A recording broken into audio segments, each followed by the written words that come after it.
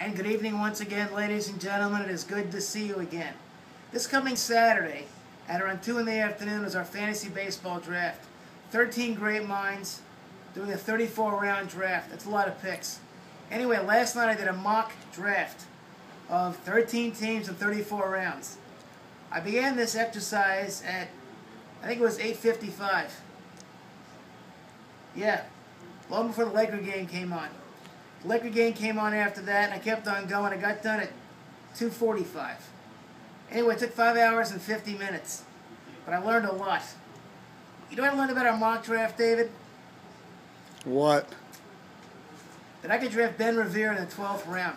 Ben Revere, by the way, is a great, is a very good speed guy in Philadelphia, one, one of my sleepers.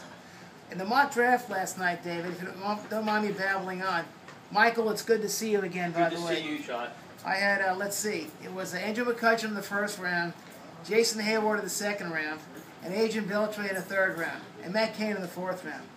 Anyway, the, the, the draft is coming Saturday. I'll keep you guys posted about developments between now and then. You want to come to the draft, David? Um, I'm, I'm busy that day. Thank you though for the offer. Yeah. You sure? Anyway, later on today, uh, name that big stick our guy, former Brave third baseman and first round pick in 1978, the great Bob Horner. Good power guy. I'll see you guys later on.